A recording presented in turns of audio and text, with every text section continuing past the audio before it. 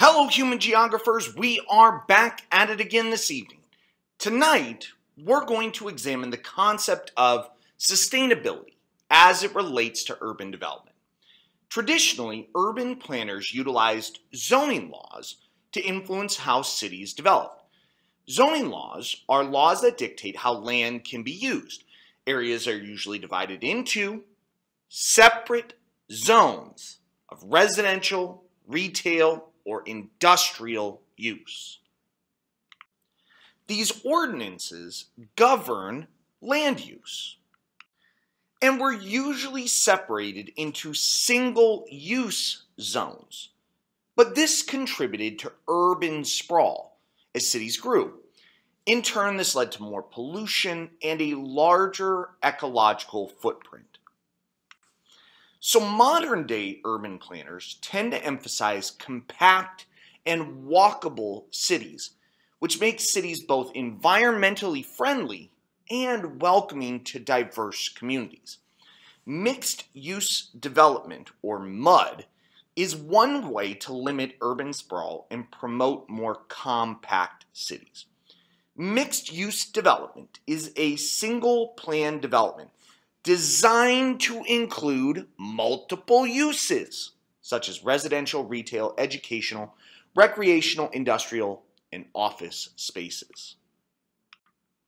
Mixed use development means that your home is on the same block as the grocery store and your office and the park and so on.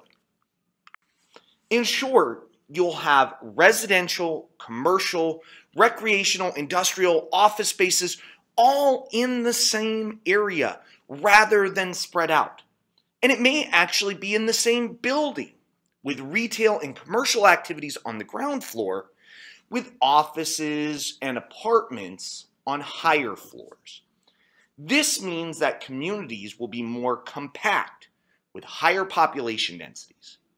And mixed use development helps to promote what is called walkability which is the idea that areas are safe, convenient, and efficient for pedestrians and cyclists, as well as, or instead of, cars.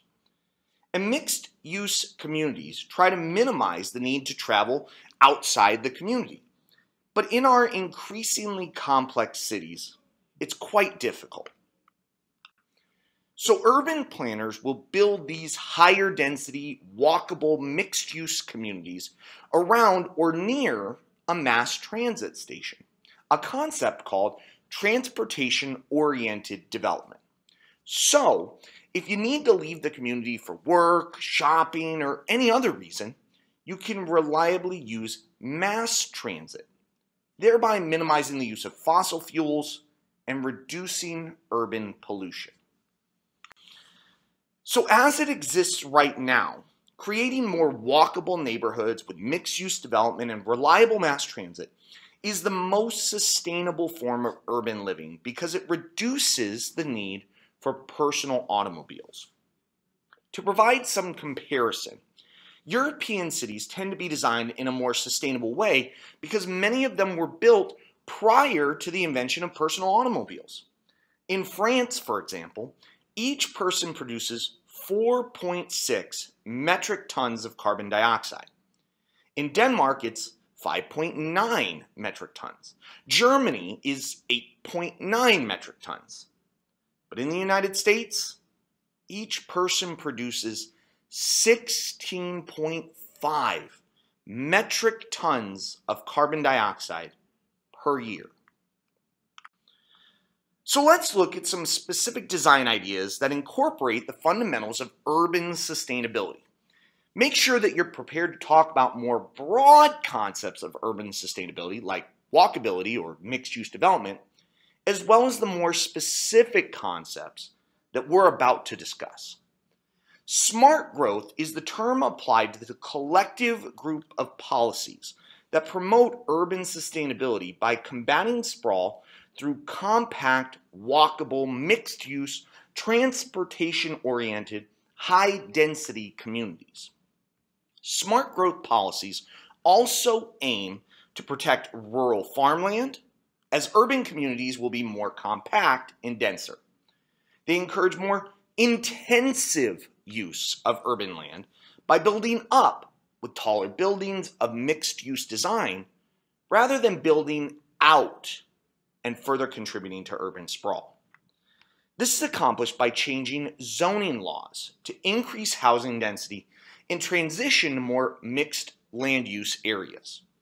In addition, incentives can be offered to encourage builders to incorporate mixed use designs.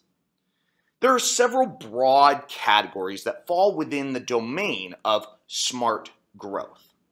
Let's start with new urbanism, which is a movement to make cities more livable and to foster a greater sense of community by designing compact, pedestrian friendly neighborhoods with sidewalks, front porches, and larger variety of housing types and land uses. New urbanism is an approach to create more European style cities with higher population densities and greater walkability. New urbanism arose in response to the sprawling, automobile centered cities. There's a strong focus on preserving and promoting the character of communities by protecting historic buildings and developing attractive architecture. There would be a variety of homes surrounding a central park.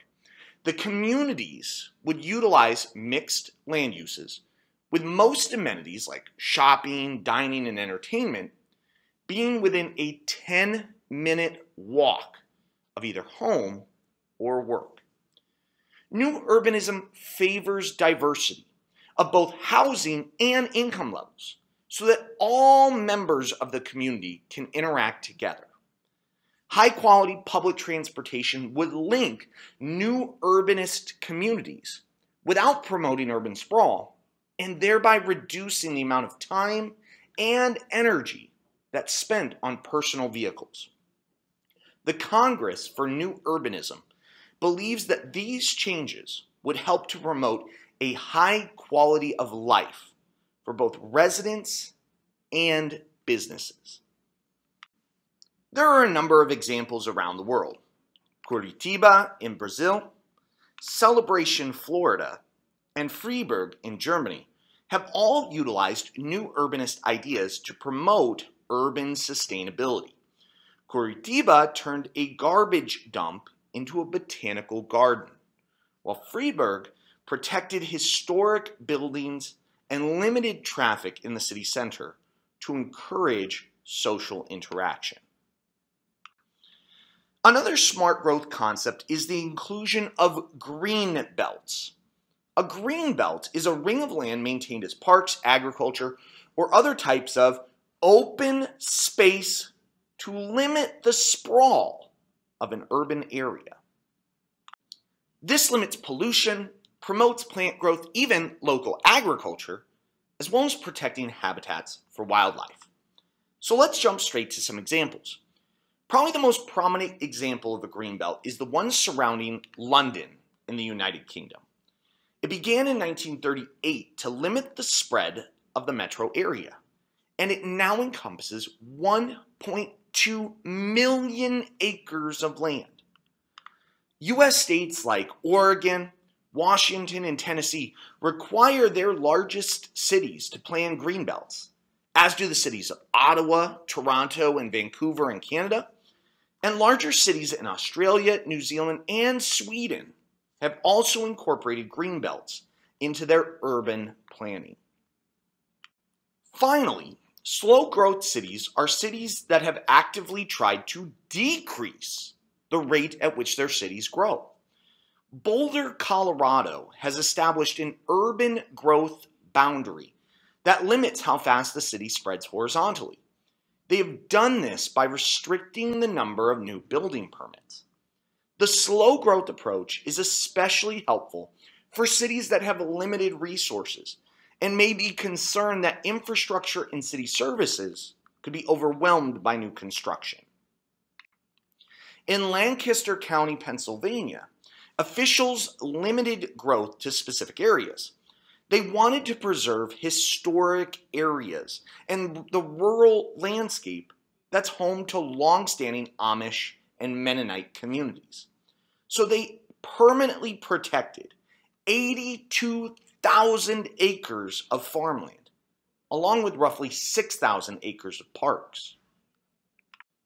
So now that we have the details and some examples, let's talk about the potential benefits and criticisms of these approaches. Perhaps the biggest benefit and the ultimate goal of urban sustainability is the slowing of urban sprawl, thereby reducing air pollution by reducing automobile traffic and fuel consumption. This can improve the health of the community because they'll be getting more exercise, which can increase life expectancy and reduce healthcare costs. But there will also be fewer traffic accidents because we won't be driving as much. For example, the transit oriented communities near Washington, D.C.'s Metro line see 40% of residents taking public transportation to work, while 6% walk. That's nearly half of the community using something other than a car. By promoting income diversity, that is, having houses for high income as well as low income families, the city builds a strong economic base that can be used to provide high quality services and transportation infrastructure.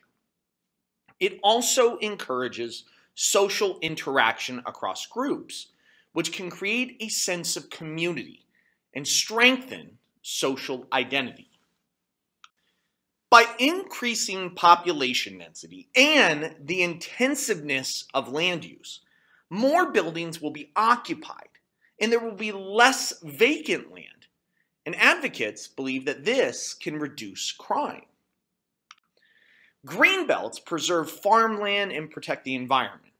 In fact, within the Ontario Greenbelt, there are 5,500 farms, which add more than $9 billion to Ontario's economy, provide 161,000 jobs, and save the province billions of dollars a year by providing clean drinking water and removing millions of pounds of pollutants from the air. All this adds up to more sustainable and more livable cities.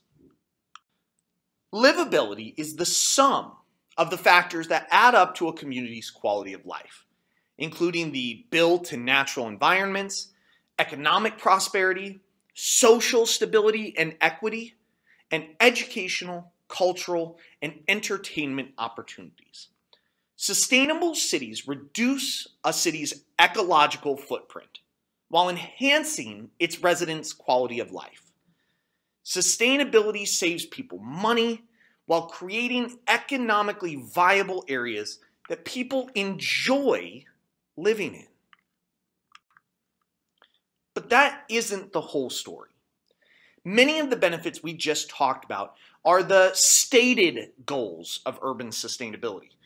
But there are other consequences of urban sustainability that aren't as positive. While new urbanism states that it desires mixed income and diverse communities, those goals are often not realized. By creating desirable new communities, real estate prices go up and the lowest income families are priced out. And by limiting the size of communities, it limits the ability to add more housing units that would bring down housing costs. And when lower income people of color are unable to afford living in these communities, it creates what is called de facto segregation. This is racial segregation that isn't prescribed by law, but is still apparent nonetheless. For example, Providence, Rhode Island began to redesign its downtown using sustainable principles. But income and ethnic diversity were the hardest goals to accomplish because they could not guarantee affordability. Another primary criticism of sustainable redevelopment is that it can lead to the loss of historical character. Some have argued that new urbanism's architecture removes the unique qualities that give a neighborhood its unique sense of place. And while new urbanism desires unique architecture, the community in Celebration, Florida has been criticized as looking more like a movie set than a real town. Others are concerned with rising crime or the loss of privacy. Some are concerned that quiet suburban living will become noisy and fast paced. The reality is that these movements are experiments in progress. Some will be successful and others won't. But the general consensus is that the current pattern of automobile centered suburban sprawl cannot continue unabated. And we will look at some of the challenges to urban sustainability in a future lecture. Have a good night, everyone, and I'll see you back in class.